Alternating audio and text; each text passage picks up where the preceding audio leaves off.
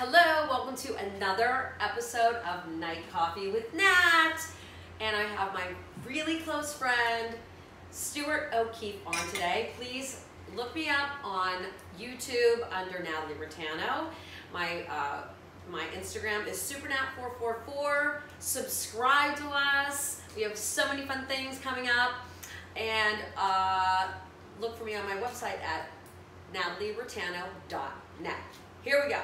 Stuart O'Keefe, celebrity chef, author, fitness enthusiast, and my friend. Welcome to Night Coffee with Nat.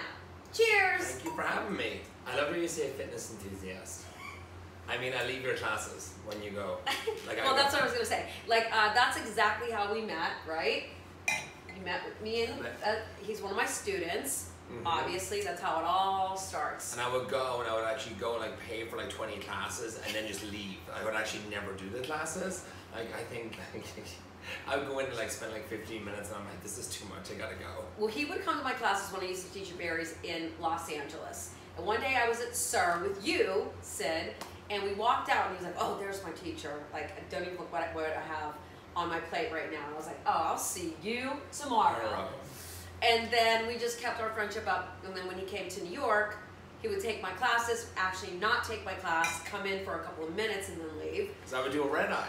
And I'm like, oh, I can take a Tuesday like class at like 9 a.m.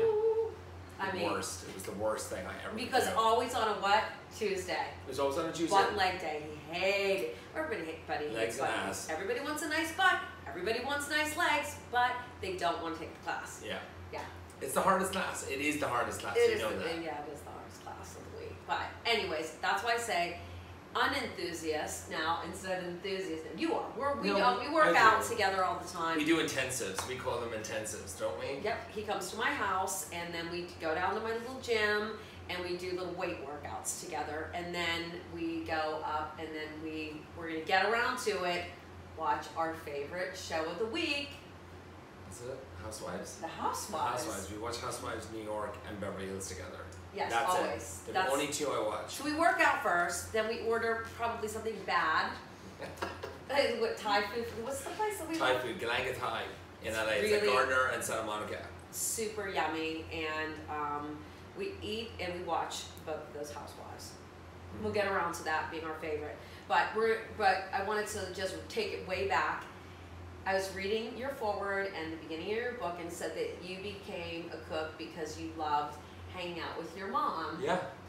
And she she cooks from love, not labor, right? Yeah. I mean, she must have cooked from love because she runs a business like nine to six every day. She's a woman's clothing store, and then she would make she would make meals for like my two brothers and sister like every single morning. She would get up like seven in the morning, prep everything. I mean that's exhausting, and then going to work and all her meals would be made for the. the and you day. have how many siblings? Uh, three, three siblings, two brothers and one sister. Two that live in Ireland, one lives in France, and um, she loves to cook. Like she must have because I mean, cooking is exhausting. Like it's it's it's a lot. You know what I mean? Like if you don't know what you're doing, it's even harder and you know, you have to have all like the right equipment, pots and pans and so forth, and I just have a lot of patience, and she did, and and then she would go to work all day and then come home. I'd help her prep the meal.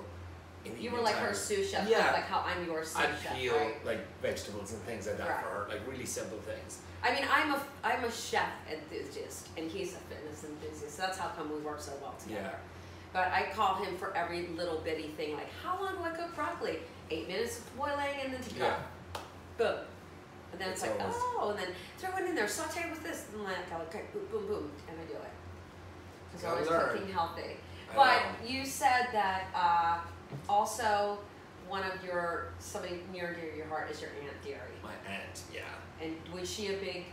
Uh, she was a used to bake. A lot of desserts. She would make like her meal, uh, her meals for her husband as well every day. But then I she always make bake like pies and tarts and desserts. Was it every day? Did you just cut? She always had something sweet in the evening for her husband. So I did they live close to you? Just up the street. And yeah, you, like maybe like a ten minute walk. You're like from a small town in Dublin. Small town in um, County Tipperary. I went to school in Dublin. Okay. And then um, I was born and raised in a small town called Nenagh. N E N A G H. We're gonna go right. We're gonna go someday. I'm we totally gotta go. going with, I'm going, I always like, It's beautiful. It's really, really beautiful. Yeah, you very really green, like it. right? Very green. Um, it's beautiful in the summertime. It's a great country if you can only put a roof on it. That's what they say. it's beautiful. It really is.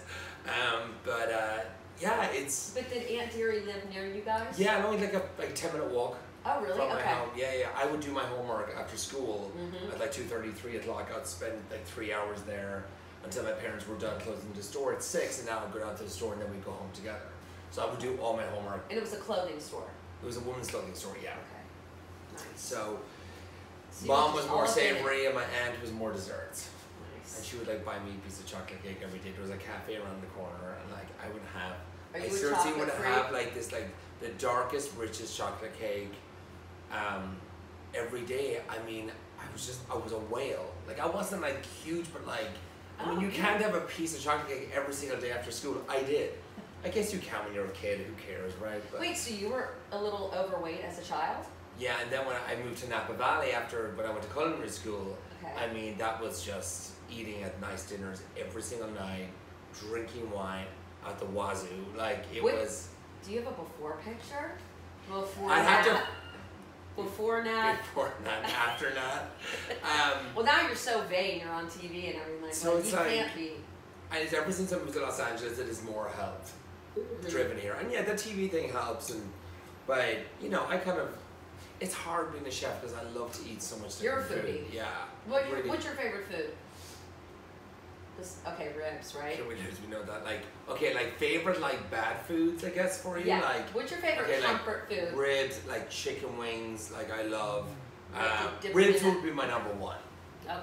Um, Do you have a favorite ribs place in Los Angeles that you like to go to? Um, no, I'm really bad. Like I always like to order like ribs from those like dirty Chinese places around the corner. Like apparently they just have the best one. Now look, when I make them that recipe from my cookbook, like they're my favorite ribs Okay. like to make. Okay, if I'm doing it myself, but. There's LA is a hard place to find great ribs. I feel like like we have to like travel like 45 minutes from like Hollywood Yeah. to go find. There is some places in the valley that are really good. I've heard. There's been one or two places Have I've you been ever to. been to Uncle Andre's? I think that's where William took me once. That's the jam. It's right on. Is it on like Park. a strip mall kind of type thing? It's really small, but it's in on Moorpark and um, I think that's it. Colfax. That sounds about right. I went there one Oh. day, and it was really good. I used to eat there too and gain like I was like, we're not gonna stop this, and I'm gonna need to cook healthy. okay, this can't be a two to three time a week deal. So, I know it's it's just. what's your favorite dessert? it. Favorite dessert. I love a really good pineapple upside down cake. Really? That's one of my favorite desserts. Yeah. Is it hard to make? No, it's super easy. You make it in a cast iron skillet, like you know, you caramelize the brown sugar, then you you place all the pineapples at the bottom, and then you make kind of like a white cake mix, and you pour it in, and then just pop it in the oven, and then it just flips out. It's like the best. Mm. There's a place in Napa Valley, Cindy's Back Street Kitchen, had the best pineapple upside down cake, and I was obsessed ever since I had that. And then there's another dessert that I had at Mustard's Grill up there. Mm-hmm. It was a hazelnut chocolate torte, and they served it with like a Jack Daniels ice cream with like a bourbon caramel sauce. Like it was insane, but like all the combinations together was just so good. How Um, long did you live in Napa Valley? Two years Really? from 2004 to 2006. and you were were studying there, or you were working I was there? working there at a hotel, Meadowood. Oh, really? Yeah. So I did like, I was a purchasing manager, I was a restaurant manager, I was in a chef, I was doing banquets, I did every position You in were the doing the whole situation. Well, the that's the way you learn. Do Yeah. everything, and then you learn how to do whatever After- you're yeah. mastering at the most. After college, they're like, just go here, get experience, go for two years, and do a multiple, do all these different positions. And so I did all those positions. I found out I hated all those positions. Oh my goodness. So then I was like, okay, I need to go down to Los Angeles, and I really want to be a host. I really want to do TV, and um, and that's uh, yeah. Uh, so you wanted to be a host. That that's gonna you know that's gonna really curtail us into your big uh, being the face of Tupperware. Oh yeah, that's funny. Yeah, let's That do that. Let's one. go there. That so was you were um, the face of Tupperware.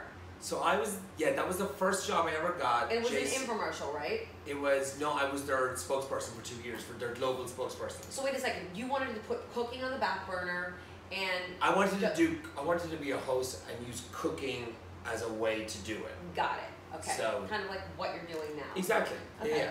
Uh, I didn't want to be like this entertainment host. I was like, I don't really care about that too much, so it's like that's not going to work. I bet you'd care if you had uh, the cast of the Housewives sitting around you. I know that would be fun. Yeah. Just a dream. okay, so go ahead. You had get you... nothing done, but um, so I yeah they hired me to be their spokesperson. I did that for two years.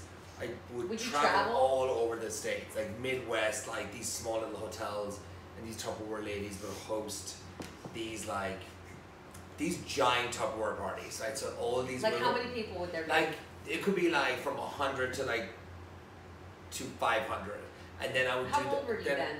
I was. That was 2008, so was we in? It's like 10 years ago. Oh wow! Like yeah, 10 really years ago. So I'm 30, so I was 26, 27. Yeah, and um, it was insane because they loved the brand so much and they were just obsessed with like selling it and is Tupperware kind of like a multi-level marketing? Yeah, yeah, it's oh. kind of like an Avon thing. Oh. So like, but like, I just they make so much money doing it and like. Like there's some of these there's amazing stories where like some of these women had like nothing going on in their life or like their husband kicked them out and they had no money and they were living in this one bedroom apartment and they some woman was selling Tupperware and found her and she went to one of these meetings and then she joined it and now she has like three houses, four cars. Like it, that's the kind of stories that you hear. Real? Yeah, and that's how what they get you. doing doing this?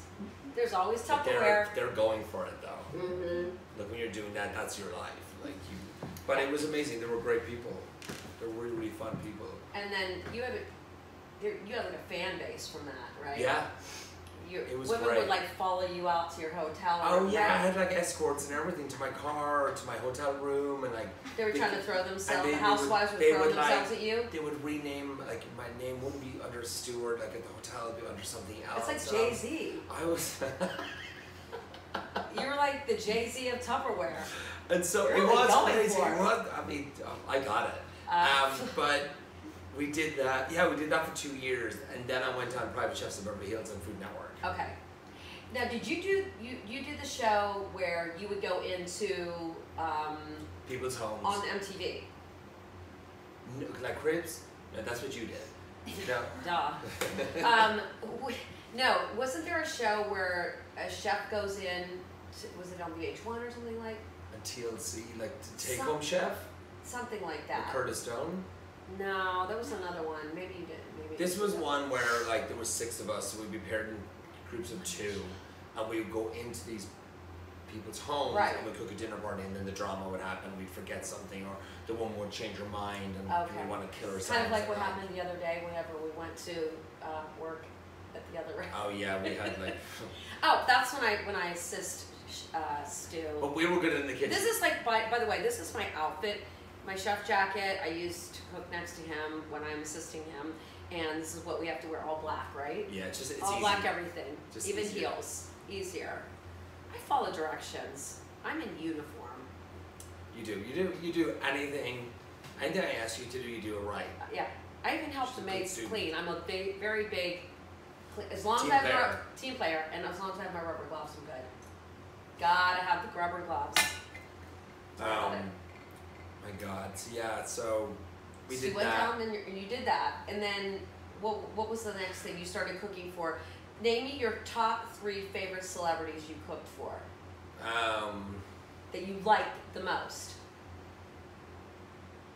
That you loved. Well, I liked. I don't know if I can say their names. Why not? If it's good. Um, they're celebrities. They hire people chefs. that turned up to dinner parties that I worked at that were really nice were like you know Jennifer Aniston, Jason Bateman, um, Jane Fonda was super sweet. Um, Jason Bateman said that like my Did food was amazing. Eat? Jennifer Aniston said I made the best flourless chocolate cake. Ooh, we need to I do like that. that. I need to show you how to do that. It's okay. really really good. And um, yeah, there's just you know we did the Kardashians once, like years and years ago before they were, before they blew up, and they were super nice as well. And um, There's lots. There's just lots over the years I can't even remember. Cindy Crawford's birthday, that was a super fun one in Malibu. Okay. Super, super sweet. She seems like And I didn't know I was cooking for her birthday until she walked into the kitchen. And you're like, And you know, and you see that beauty mark and you're like, okay, it's her. You know, Yeah, she's It's kind of hard to like mix. Yeah. Mess. she looks exactly the same.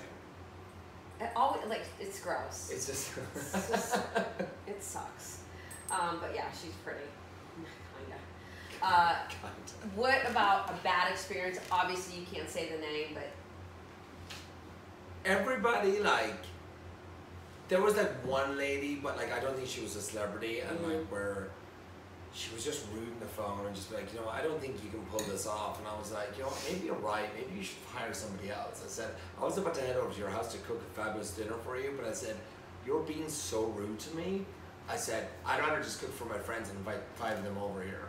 oh my and god. I didn't turn up and I just left her cold. No It was way. the only time I've ever like cancelled on somebody. Really? But it just, I just was, just, I had this gut feeling that she Yeah. was going to be a nightmare before I went there, and it's like, I can cook for anybody, but once you start being rude for me, rude Yeah. to me, it's like, really, dude, like I'm not, I'm too old for that now. Yeah, nobody just nobody should be at any age treated like yeah. shit. The end. Um, you recently became a citizen of the United States, Did. and that's today you voted Today I voted. as a United States Citizen. I know it was weird. She's like, I walked in, I was, she's like, have you been here before? And I was like, no. I said, I just became a You're citizen pretty like last year. You're Yeah, I- very political. I, I, got into it here. it- I really, really got into really it. Really a yeah. Hillary fan. Yeah, big time. I mean, you were like, if we Gone go out in New York during the uh, during the election, and it was just like he was glued to his phone, watching every single second of like any update, Yeah. right? It was crazy. I mean, this is the craziest thing ever to happen in history. I think ever, never. It's like Yeah. nobody will ever forget that, you know. No, we won't. No, we won't. We're still not forgetting it. yeah, we're definitely not forgetting it. What um, what is your favorite meal to cook from this book? From that book, Let's talk about the book for a second because if you didn't watch the beginning part, Stu has a book called The Quick Fix. The Quick Six Fix. we get the name right. I mean, it's you own Stu it. has a book, The Quick Six Fix. Why did you call it the Six Fix? It's called the Quick Six Fix because it was six ingredients, six minutes prep, six minutes cleanup. And so I don't like cleaning up in the kitchen. I don't. I'm getting better and better at it, but the six ingredient thing was always kind of an idea I had for a TV show back in Ireland, and um, and we never. And these are yummy meals. They're not. They're all- Trust me. They're like they're, they're healthy, but they're yummy. They're not like it's not I- like your I new. It's I- not going to be your like your Here- diet book. Here's yeah. the thing. I don't know, but like, here's the thing. A lot of these meals are just like nice meals. The whole thing about dieting and all that kind of stuff. Right. And that maybe you agree. Diets with die. You, you diets die. Diets first die. of all, but, But like, everybody likes a good salad. if you can, if you made or ate any of these books, like this, for example, like the pan-seared cod with the succotash, like that's super healthy. Health wasn't in my head writing this book when I was doing it, but after it was done and going through all the recipes, I was like, this is actually pretty healthy, like as a as a cookbook. And um, I mean, like the ribs are obviously they're a bit heavier, but here's the thing: it's all about portions. If you like do that book, and um, you don't, you know, have three portions or you know two portions, or you don't even have one, you'll be eating well. Just portion control, I think. Um, that's what we just made. We just, yeah, that was yummy. The angel hair shrimp, tomatoes, and lemon. This is super. That was that very you know I good. mean? With the capellini pasta, you never need that much pasta. I think when you're making any pasta dish, and that's where a lot of the calories is is in like the pastas, or if you have a pretty heavy cream sauce or something like that. Um, but this like tomato based sauces in like pasta and like Italian cooking, I always think are super super healthy. Yeah. Um, What's That's- a great salad? Summer salad. summer salad and this in the book summer salad or I have another one I make this butter lettuce salad. You've been with me I think when I've made it before Yeah. where it's just like butter lettuce with like a simple like mustard vinaigrette and you just get fresh herbs like tarragon, parsley and chives and sprinkle it all over and it's super crunchy, super summery and it's like really light and then you would have just like you know a nice piece of salmon with it or like chicken with it and you know and, and that's it. Um, What's your favorite one from the book? Favorite one from the book. I like the Hale Kale butter buttermilk chicken salad. What's the what's the? It's made out of buttermilk. It's a butter, so it's like a buttermilk ranch dressing. Oh. But it's a homemade buttermilk ranch dressing. It's way better than that stuff in the bottles. Okay, so you make the dressing I don't want to talk scratch. about Hidden Valley here. You know, we're not we're not talking about that. Or that powdered stuff that you add with mayo, like oh. Um, so it's just And dip chips in it.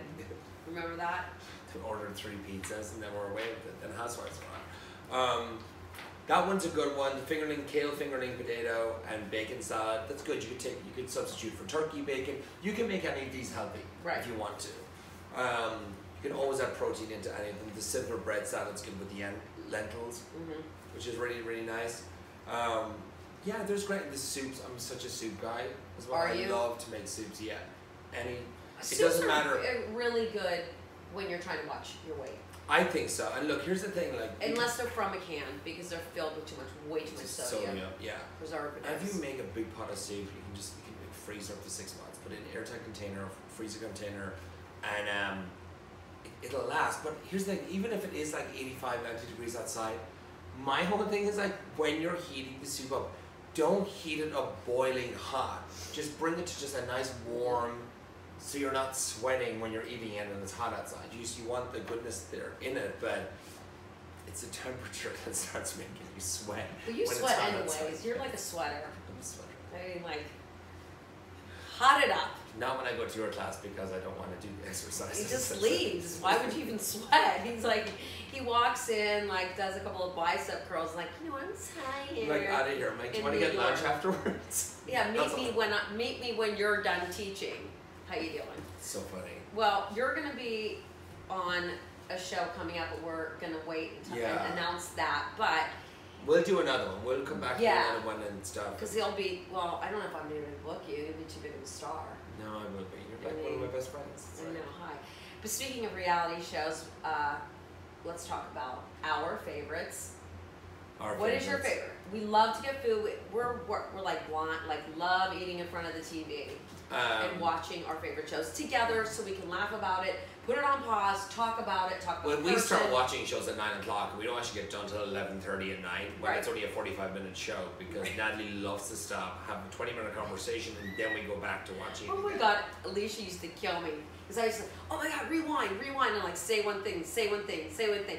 Like I love doing that. I'm like, I'm like, isn't it Tuesday at like 8 a.m.? I'm like, what happened? Did, wasn't, did I come here yet Tuesday at like 10? It's like, it's like, I just spend the night over and wake up and we're pressing play. But um, we like, well, my two favorites are Beverly Hills and New York. That's it. They're the only two I watch because I think there's just too many of them. Yeah. You pick your favorites and that's it. You know, there's You so much really better TV it. out there too. You know. And I want to, I want to talk about one of your biggest accomplishments, and it's when you played the bartender on Watch What Happens Live. Oh yeah. It was some of your best work. I mean, you crushed it. When I was doing the weighing scales, I was weighing stuff. Wasn't I? really like you were in back there. the time, right? I was like, there he is, Just, still in the game. Just getting the game. oh my god. Actually, it was funny. everybody watched what watch what happened Mhm. live, so it was fun, right? yeah, it was fun. I wish there was And you love and Andy's better friend. people. And he's a, and he's a friend. He's great. Andy even mentioned you in his book. he did. Yes, He did. it's not a secret. It's not a secret. So, you're you're already so famous. I don't even know what to do about that. Um, who's your favorite? I don't have a figurine though. That's right, and I love the way he calls my uh, action figure a figurine. It's amazing. That's what it's called, right? Isn't that not what it's called? Like or like what? Like An action figure. but like a Barbie is not an action figure. It's like a figurine. Can we have the appearance of the action figure, please? Thank you. Like you're not G.I. Jane, okay? Look.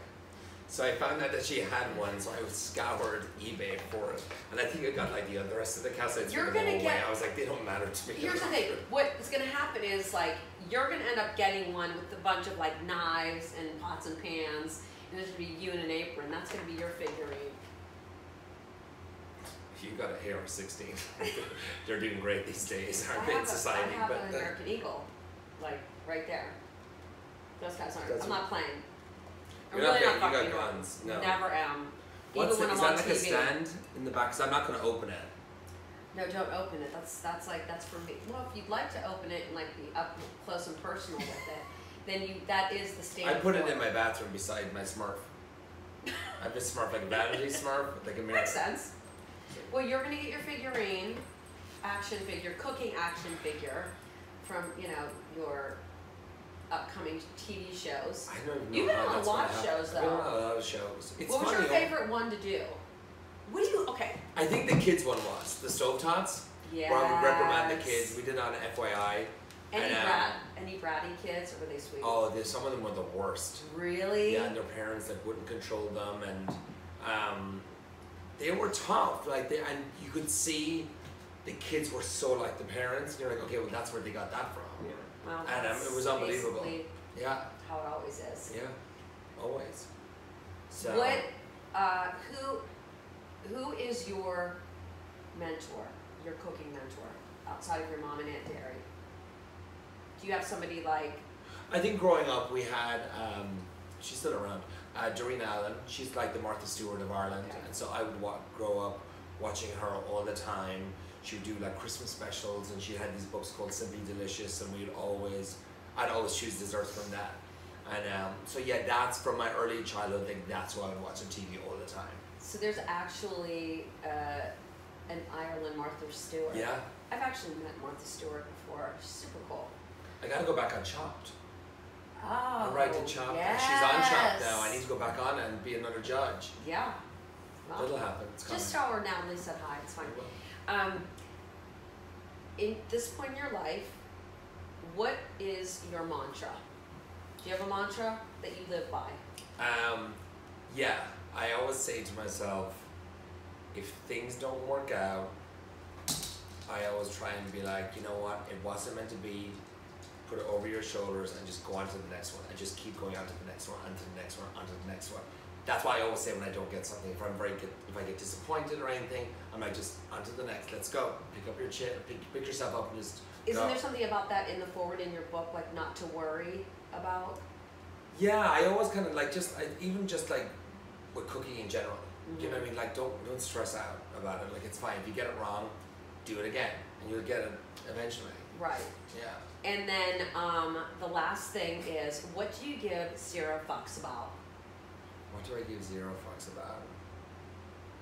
At this stage, what people think of me, I don't give a shit. That's always anymore. like that's the best. That's the best answer.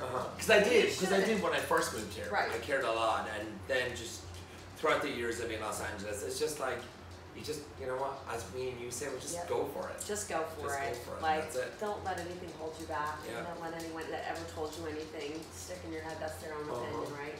That's So we're I gonna wrap it up. Thank you for tuning in tonight, Coffees with Nat.